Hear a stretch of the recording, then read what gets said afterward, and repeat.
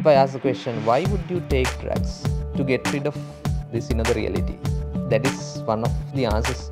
Perhaps one of uh, one, one uh, particular person would say, and this alternative consciousness would not you know persist for a long period of time.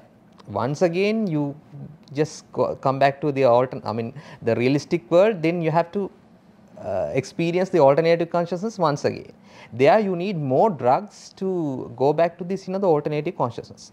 When someone is in this alternative consciousness, so the basically the thoughts and the mindset would manipulate the individual. In such scenarios, we don't know what what what people people do after they are addicted to something because of this you know the alternative consciousness. So certain drugs can result in this in the alternative con consciousness and that can be problematic as well.